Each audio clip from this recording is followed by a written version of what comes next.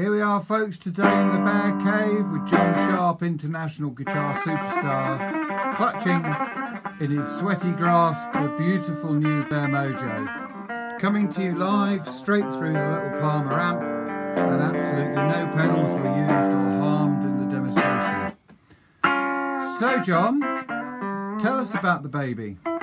Well, it's beautiful. It's all about the wood. The back looks like a kind of like boiled sweet. And Well, we've got this We'll, we'll, we'll go with carved mahogany, shall we, instead of boiled All fruit, right then, and um, neck feels like it's been smeared with butter. Okay, calm down, calm down. And well, the great thing is, of course, you can And a blend. spalted maple top you were going to say, I was gonna say That's that. what you were going to say. It was just like on my lips, you know. And, but and the Gibson humbuckers too. Big fat Gibson humbuckers, which are blendable, of course. Blendable. And blendable here's the thing. those there knob things. At the moment, I've just got this back pickup on backed off. But if I just switch here, I've got a nice blend of the neck pickup, which gives you this kind of like really creamy sound. But if I wanted to go back to this pickup here, wind the wick up a little bit.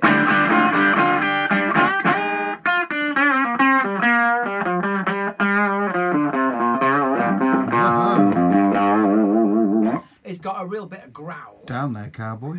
But then uh, what I'm going to do is I'm just going to back everything off and do something really.